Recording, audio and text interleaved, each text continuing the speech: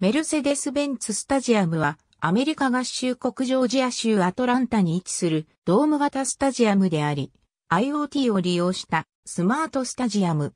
ジョージアドームの代替施設として2017年8月26日に開場した。ナショナルフットボールリーグのアトランタファルコンズ、メジャーリーグサッカーのアトランタユナイテッド FC が本拠地として使用している。現在、ジョージア州政府がジョージアワールドコングレスセンター校舎を通じて所有しており、ファルコンズとアトランタユナイテッドの親会社である AMB グループによって運営されている。2016年6月時点で総建設費は16億米ドルと見積もられていた。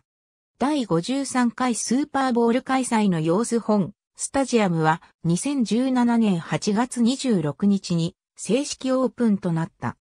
当時は開閉式、屋根システムが不完全であったにもかかわらず、ファルコンズはプレシーズンゲームでアリゾナカージナルスと対戦した。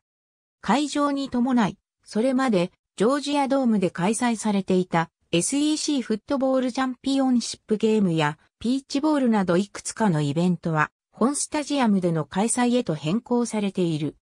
2018年にはカレッジフットボール全米王座決定戦と MLS カップが2019年には第53回スーパーボールが開催された。かつてファルコンズが本拠地にしていたジョージアドームに隣接した場所に建設された。建設中はニューアトランタスタジアムという名前であったが、2015年8月に自動車メーカーのメルセデス・ベンツ USA 社が命名権を取得し、メルセデス・ベンツスタジアムとなった。27年契約で総額3億2400万ドルというメルセデス・ベンツ史上最大のマーケティング契約となった。なお、同社は NFL のニューオーリンズ・セインツのホームスタジアムであるメルセデス・ベンツ・スーパードームの命名権も保有している。スタジアムの特徴的な屋根とヘイロースタジアムの特徴として8枚の半透明になった三角形のパネルで構成されたピンホイールと呼ばれる開閉式の屋根が挙げられる。8枚のパネルは、それぞれ2本の平行なレール上で動作しており、1本のレールがパネルを動かし、もう1本のレールがパネルを安定させている。屋根を閉じるのにかかる時間は、屋根を開くときに比べて若干短くなるが、それは屋根を開く際、最初にシールを外し、パネルが脱線しないよう最後には減速しなければならないため、屋根が開くとパネルは鳥の翼が伸びているような錯覚が起こるよう設計されている。建築家のビル・ジョンソンは屋根の円形の開口部はローマのパンテオンに影響を受けたと説明した。屋根は光をコントロールするために不透明度を調整できる透明で軽量なポリマー素材で作られており、外観は外からの眺められる陽台部分が透明なポリマーがガラス製である。アトランタのスカイラインを遮らないようにするために、東側のエンドゾーンでは、ミドルコンコースとアッパーボールが削られている。屋根の下には、58100フィートのリング状になった大型映像表示装置、ヘイローがある。スクリーンの総面積は62,350平方フィートで、メーカーのダクトロニクスはジャクソンビルのティアーバンクフィールドに設置された現在の NFL 最大の単一ディスプレイボードの3倍の大きさと表現している。ダクトロニクスはサッカーの試合のフィールドレベルの広告ボードなど他にも2万平方フィート以上の LED ボードを設置している。2015年5月19日、2019年の第53回スーパーボールを開催することが決まった。スーパーボール自体では2000年の第34回スーパーボール以来となるアトランタでの開催となった。スーパーボール 2020NCWA ファイナル4を開催する予定だったものの、2020年3月12日に新型コロナウイルスの流行により中止となった。将来のファイナル4のスケジュールに関する契約上の義務のため、アトランタが別のファイナル4を開催できるのは最も早くて2027年である。カレッジフットボール、プレーオフ準決勝のオクラホマ大学対、ルイジアナ州立大学ピーチボール、セレブレーションボール、SEC フットボールチャンピオンシップゲーム、チックフィルウェイキックオフゲームは、2017年シーズンに、ジョージアドームから本スタジアムに開催地を変更した。SEC チャンピオンシップとは2027年までの長期契約を結んでいる。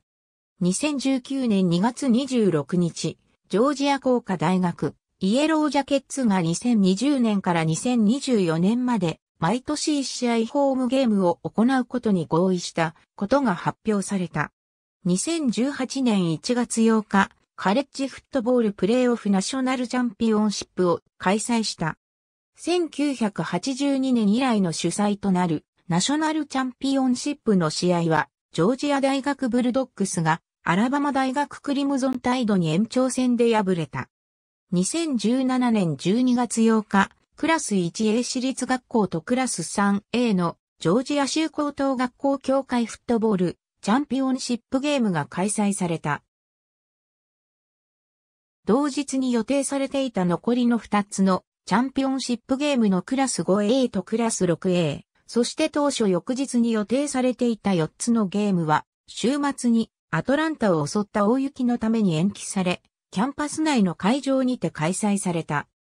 2018年の同大会は、12月8日にアトランタユナイテッドが MLS カップ2018を開催することが決まり、また12月15日に2018セレブレーションボールも予定されていたため、12月11日12日に開催された。2019年5月、グッサは本スタジアムが旧ジョージアドームに比べてレンタルコストが高いことを理由に2019年からメインスタジアムをセンターパークスタジアムに移すことを発表した。2017年10月22日、アトランタユナイテッドは本スタジアムで MLS レギュラーシーズンの対トロント FC 戦を行い、71,874人の観客を集め、9月のオーランドシティ戦で打ち立てた MLS 単独試合での最大の観客数の記録を更新。また、アトランタユナイテッドは単一シーズンの観客動員数の記録を更新。